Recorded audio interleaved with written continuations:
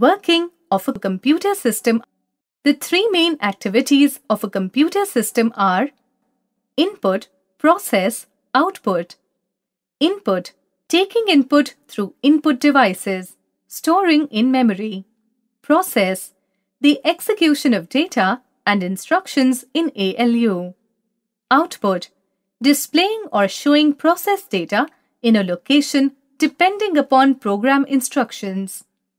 All the above activities are performed by the CPU. The control unit decides when to take input from the input device and store in the main memory unit. When required, the data is sent to ALU to perform calculations as told in the program. After calculations, it decides where to store the process data. This is called the block diagram of the computer. Computer memory. Computer memory is measured in terms of bytes. One byte is capable of holding one character. Each information is represented within the computer memory using binary digits 0 and 1, a bit. A combination of 8 bits make a byte. Types of computer memory. There are two types of computer memory, primary memory and secondary memory.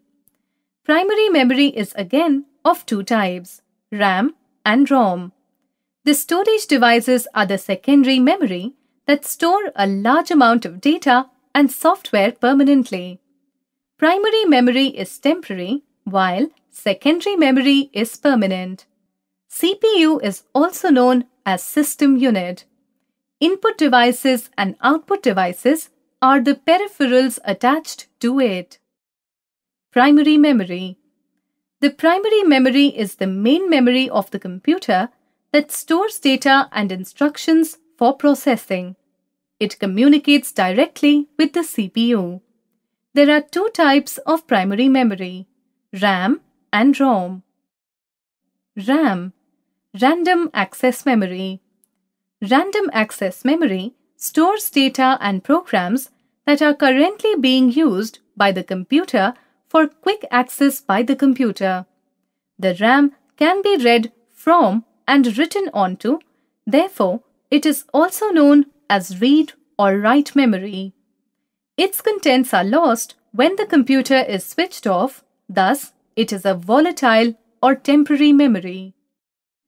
ROM Read-only memory Read-only memory stores startup instructions for booting the computer system.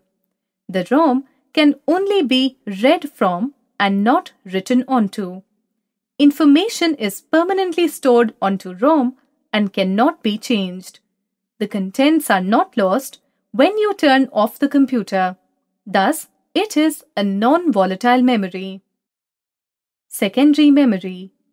The primary memory cannot permanently store a large amount of data, so we need a permanent storage. The secondary memory can store as much information as you need. Some storage devices are hard disk, compact disk, CD, DVD, etc. You will learn more about secondary memory in the preceding chapters. Microprocessor the microprocessor is also known as CPU.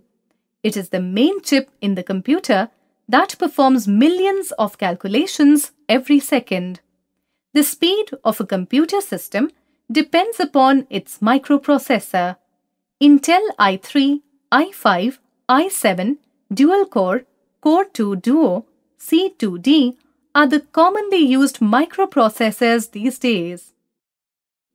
Motherboard the motherboard is the main circuit board of the computer where you plug in your microprocessor, CPU, memory and other cards.